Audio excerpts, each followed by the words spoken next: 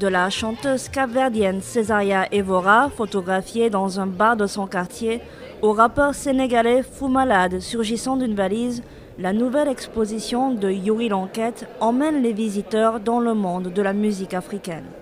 Ces photographies ont été réalisées pour des pochettes de disques ou pour des documents promotionnels.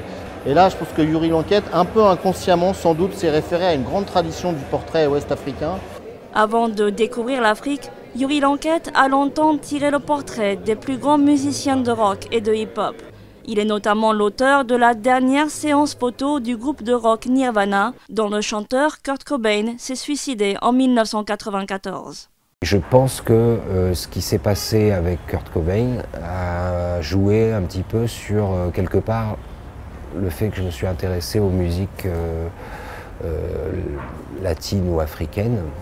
Naturellement, j'ai eu besoin d'écouter des musiques qui peut-être véhiculaient une joie de vivre manifeste.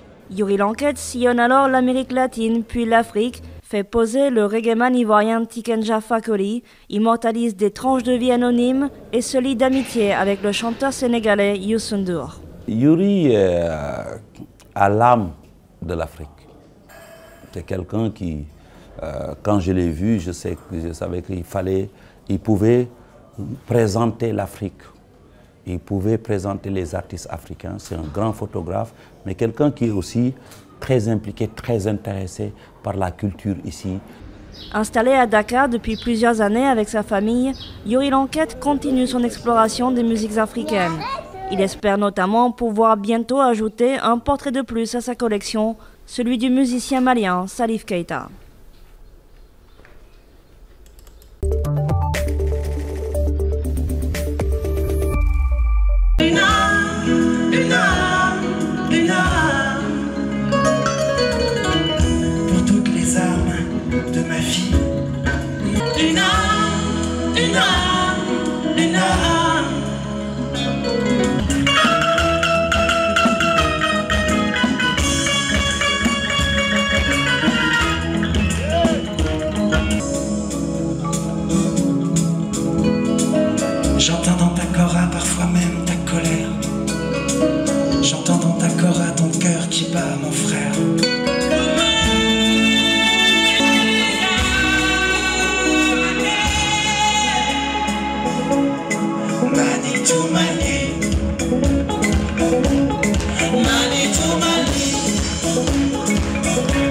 Donc c'est vrai que c'est un collectif d'artistes qui s'arrête pas que euh, aux musiciens. Et, j'aime profondément la collaboration comme ça de, gens euh, très talentueux et en même temps euh, très généreux.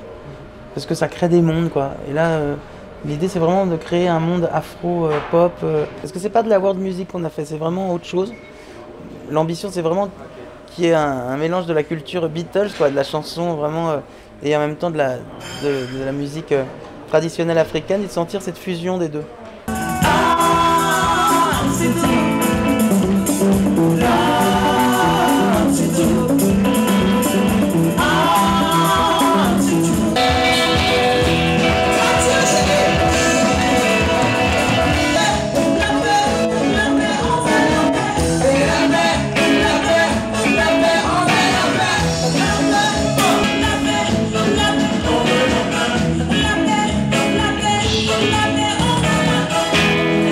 J'ai la chance quand même de jouer avec Toumani Diabaté, même si Diki qui dans la nouvelle génération transcende tout, quelque part il a vraiment ce. Parce qu'il a ce mélange de la nouvelle génération et puis de la. Et en même temps il est connecté vraiment à la source, aux racines de la musique malienne.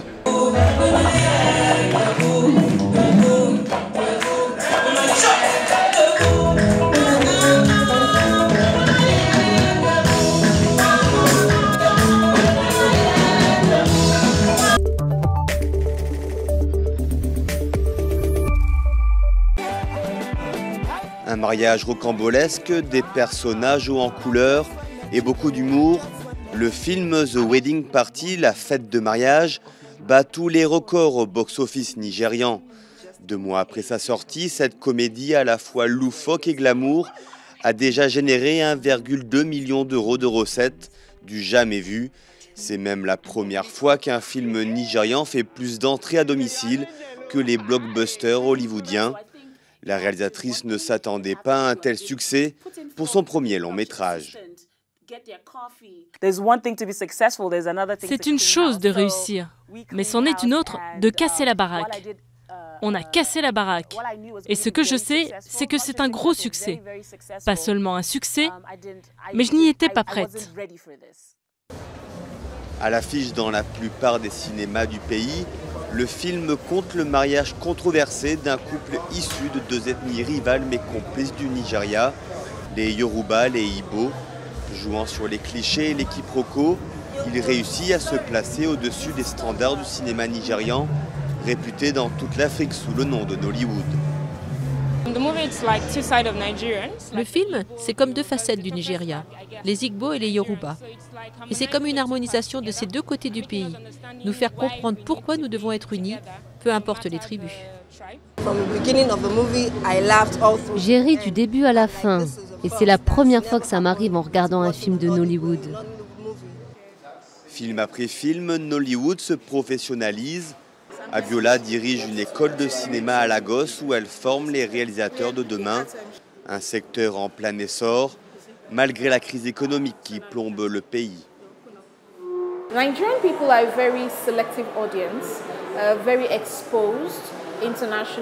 Le Nigeria a un public exigeant, ouvert et voyageur. Nous savons ce qui se fait partout et nous n'en attendons pas moins chez nous.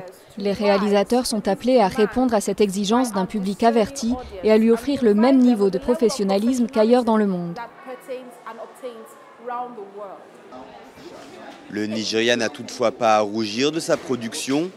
Avec 2000 films par an et un public estimé à près de 150 millions de spectateurs, Nollywood est l'une des trois plus grosses industries du cinéma au monde, avec l'Inde et les États-Unis.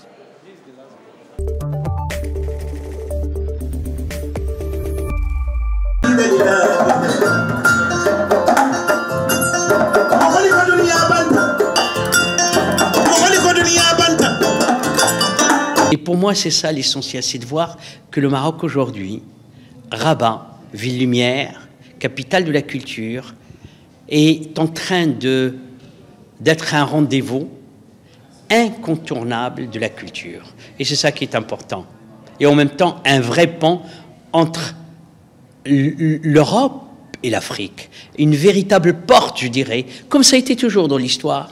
Le fait que le Maroc s'intéresse globalement à, toutes les manifestations culturelles euh, au niveau de l'Afrique, et surtout cette année où le Maroc est revenu dans la communauté africaine, on peut dire sur le plan politique, mais nous savons que le Maroc était là déjà euh, dans le domaine économique, dans le domaine culturel.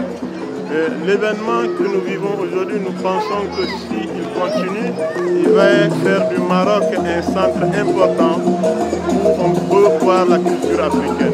Euh, c'est un choix et un message fort que la capitale a souhaité euh, donner euh, continent africain, mais également au reste du, monde, sur cette volonté de marquer et de présenter des artistes majeurs du continent sur le continent avec l'entrée euh, bien évidemment du Maroc dans l'Union africaine.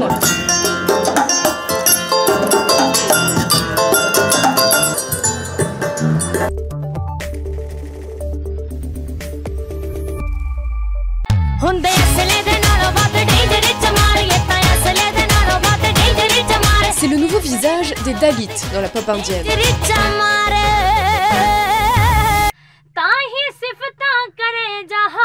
À peine 18 ans, Guinea Mai a déjà enregistré plusieurs chansons à succès sur sa communauté, les Dalits, connus avant sous le nom d'Intouchables en Inde. Aujourd'hui, ça s'est beaucoup amélioré et je veux devenir le porte-voix de ces personnes. Et oui, faire partie de cette communauté ne me pose aucun problème. Au contraire, j'en suis fière.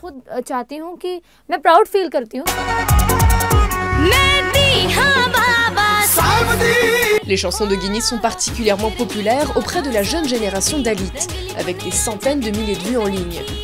Son Punjab natal compte le plus grand nombre de Dalits dans le pays, et comme elle, d'autres ici veulent représenter cette communauté d'ordinaire cantonnée aux métiers ingrats. Avec 18 albums à son actif, Raj Dadral est un vétéran, mais il vit toujours de la petite épicerie qu'il tient dans son village, et il a dû affronter les discriminations.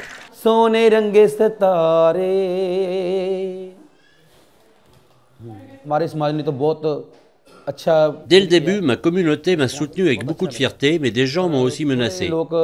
Ils m'ont dit qu'ils allaient me tuer parce que je chantais ces chansons. Les réseaux sociaux compensent les moyens souvent limités. Grâce à eux, Rajdadral reçoit des dons de fans indiens qui habitent au Canada. Il s'est même produit en Europe et en Amérique.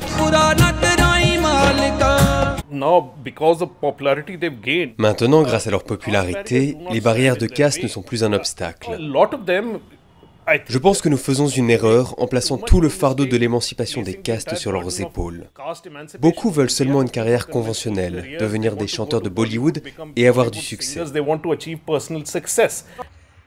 En 2016, le pays a connu une vague de manifestations d'Alit contre des violences et discriminations de caste. Une campagne largement relayée dans les médias indiens.